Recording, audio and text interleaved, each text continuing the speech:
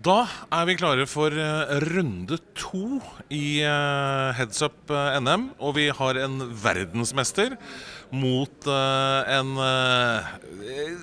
ganske merittert pokerspiller, vil jeg jo påstå. Espen og Jonathan, hvordan kommer dette til å gå? Ja, det kan jo gå selvfølgelig begge veier. Det er jo heads up.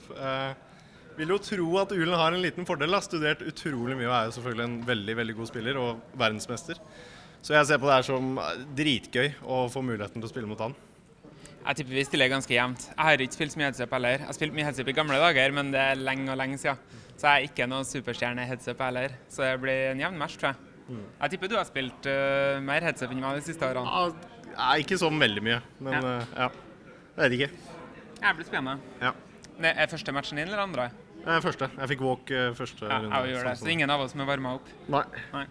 Det hadde vel vært walkover for begge dere to i første runde uansett hvem dere hadde møtt? Hadde det ikke vært det? Åpenbart. Ja, det er vanskelig å si. Ja. Åpenbart, ja.